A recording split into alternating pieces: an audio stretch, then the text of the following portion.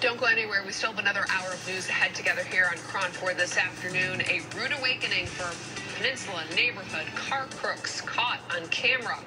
And a wedding nightmare for an East Bay woman less than a week and a half before her big day. We'll see how this situation gets resolved. I'm Justine Baldwin. Mm. KRON 4 News at 3 is.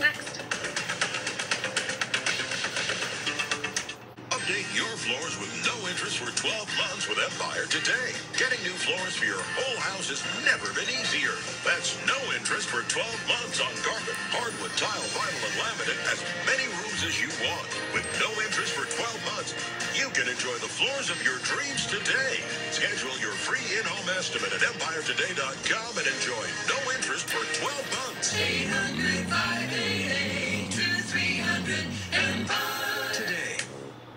Hey, join the great Rick Barry and me at the Celebrity Golf Classic September 27th. See you there.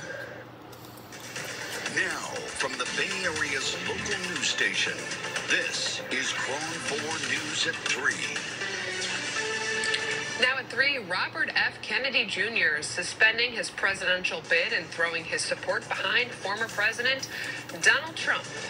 And in Pacifica, a series of car break ins happening in one neighborhood. And today, the people who live there are speaking out as the search for the suspects now gets underway. And a teaching assistant at a school for the deaf has been arrested. He's accused of sexually assaulting several students. Thank you for joining us this Friday here on KRON 4 News at 3. I'm Justine Baldwin. A teacher at the California School for the Deaf has been arrested for allegedly sexually molesting several students. The teacher is now in custody, but police say the case is still very much an active investigation. KRON 4's Teresa Stasio has the latest. I'm here in Fremont. That's a California school for the deaf right off of Stevenson Boulevard. Authorities now telling us that they have arrested a teacher from this school and charged that teacher with molesting deaf students. Mm-hmm. Take a